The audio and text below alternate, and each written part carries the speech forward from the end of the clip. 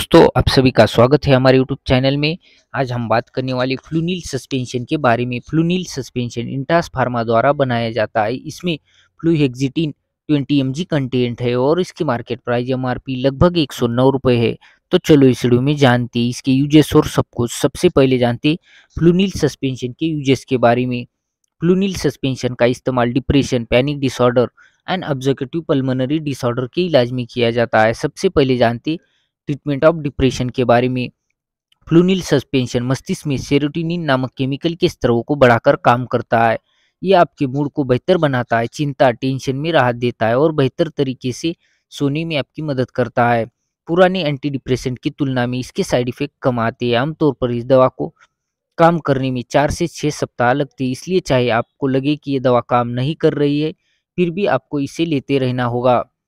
अब जानते हैं ट्रीटमेंट ऑफ़ पैनिक डिसऑर्डर के बारे में फ्लूनील सस्पेंशन पैनिक अटैक सहित कई पैनिक डिसऑर्डर के लक्षणों से राहत पाने में आपकी मदद कर सकता है। यह आपको शांत महसूस करवाने और समस्याओं से निपटने की आपकी क्षमता में सुधार करने में मदद करता है।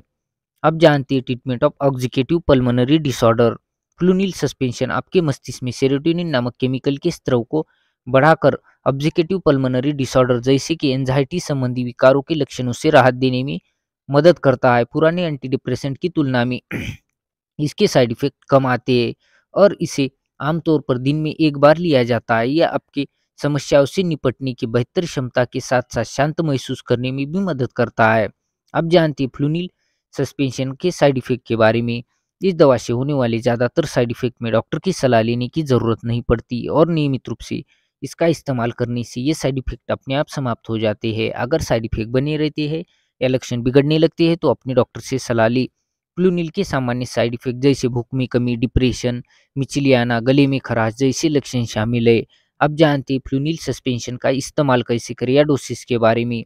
इस्तेमाल करने के पहले लेबल की जाँच कर ले। इसे मापने वाले कब से मापे और फिर पिए? इस्तेमाल करने से पहले सैरप को अच्छी तरह से हिलाए। फ्लूनिल सस्पेंशन को खाने के साथ या भूखे पेट भी ले सकते लेकिन बेहतर यही होगा कि इसे फिक्स टाइम पर ही लिया जाना चाहिए, क्योंकि इससे आप आपकी दवाई लेना नहीं भूलेंगे दोस्तों। अब जानते फ्लूनिल सस्पेंशन किस प्रकार काम करता है। Flunil suspension selective serotonin antidepressant है। ये मस्तिष्क में रासायनिक मैसेंजर सीरोटोनिन के स्तरों को बढ़ाकर काम करता है। ये डिप्रेशन के मूड और भौतिक लक्षणों में बेहतर बनाता है और पैनिक डिसऑर्डर ऑब्जिकेटिव डिसऑर्डर से भी राहत देता है। आप जानते हैं इसे यूज़ करने के लिए कुछ खास टिप्स के बारे में फ्लूनिल सस्पेंशन को सुबह के समय ले यदि आप इसे रात में देर से लेते हैं तो आपको सोने में परेशानी आ सकती है। पहली बार जब आप इसे लेना शुरू करते हैं तो एंजाइटी और बेचैनी हो सकती है। इससे वज़न घटता है और भूख कम लगती है। जब तक आप ये न जान ले कि फ्लूनिल सस्पेंशन आप पर कैसा असर करता है, तब तक गाड़ी ना चलाए, ना ही कोई ऐसा काम करे जिसमें ध्यान और एकाग्रता की ज़रूरत हो। ये जानकारी आपको कैसी लगी दोस्तों? अच्छी लगी हो तो वीडियो को लाइक और चैनल को सब्सक्राइब करना ना भूले। अंत तक देखने के लिए धन्यवाद दोस्तों। जय हिंद दोस्तों।